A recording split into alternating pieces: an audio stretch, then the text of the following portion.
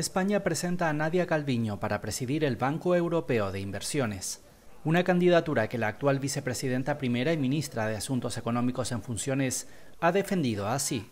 Solamente una candidatura con mi nombre tenía las máximas opciones para prosperar, que cualquier otro candidato, cualquier otro perfil hubiera sido dar la batalla por perdida y dado el, carácter estratégico del Banco Europeo de Inversiones para España y para Europa, el presidente opta por una candidatura fuerte que tenga las máximas opciones. Un cargo al que también optan la vicepresidenta de la Comisión Europea, Margaret Verstager, y el exministro italiano Daniel Franco. En caso de ser elegida, Calviño tendría que ocupar el puesto en enero de 2024. La presentación de esta candidatura no interfiere con mis funciones, que en todo caso se desarrollarían hasta final de año y yo confío en que, en, que eso sea eh, no solo en las próximas semanas eh, en, en un gobierno en funciones, sino en el nuevo gobierno de Pedro Sánchez en esa nueva legislatura.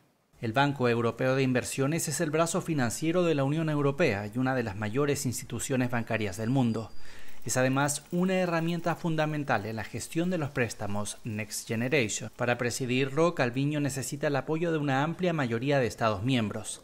El nombramiento se acordaría en la reunión informal del Consejo de Ministros de Economía y Finanzas de Santiago de Compostela, los días 15 y 16 de septiembre y sería formalmente adoptado en octubre en el Consejo de Gobernadores del Banco Europeo de Inversiones.